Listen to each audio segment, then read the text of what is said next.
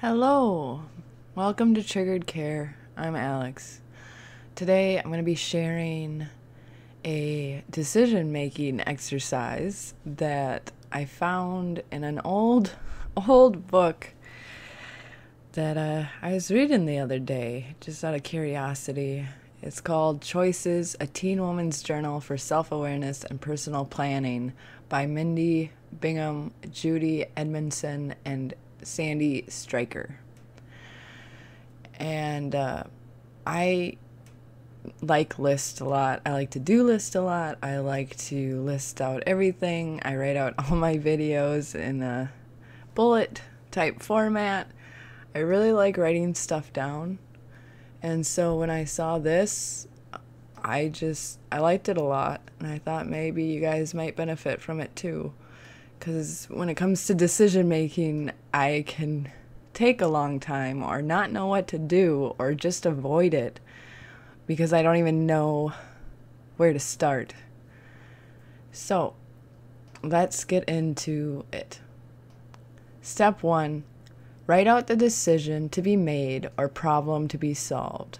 So, for example, if the problem is uh, which roads will Alex take to town, you know, and then you, under that, you write out the goal Alex's goal to get to town for a shopping trip and to enjoy the ride into town.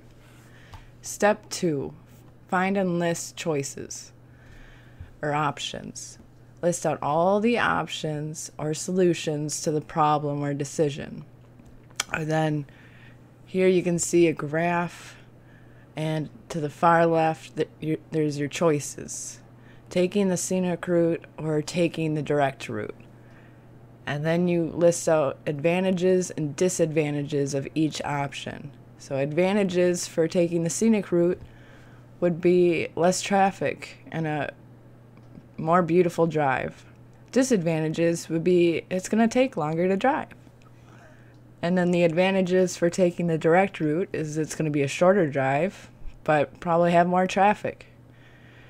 And then step three is find the probable outcomes.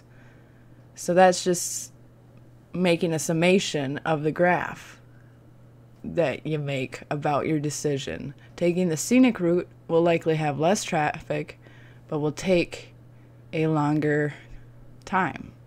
And then taking the direct route will likely be a shorter drive with more traffic. And since I enjoy to drive with less traffic and better scenery way more than I like driving on main roads, you know, I would take the scenic route. But this can be applied to a lot of different things. And this is sort of how I didn't know that I was doing this, but when I decided to go off of daily medication, this was pretty much the process that I went through. Just comparing the advantages to the disadvantages and figuring out the probable income or outcome. So I really like this little graph thing. I really like it because I like writing out everything writing stuff down very much helps me figure it out in my head way better than trying to figure it out in my brain because my brain is super distractible a lot of the times and it can be hard to think straight especially if it's a bigger decision especially you know for the more complicated tasks i i think this could be really helpful so, if you're like me and you like making lists and you like making charts and all of that, this might be a handy dandy tool for you. Well, that should do it. This is a pretty short one. I just wanted to share that graph thing that I read in the book.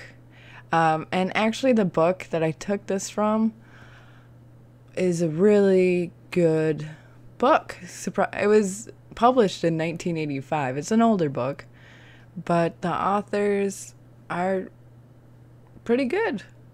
It's pretty darn good. It's got some good advice in there. It's got financial advice in there. It's got like it pretty much has the stuff that you need to plan out your life, which is kind of silly since it's supposed to be for teenage girls and you can't really plan out your whole life when you're a teenager, but some really good advice in there. So, I hope everyone's having a good week.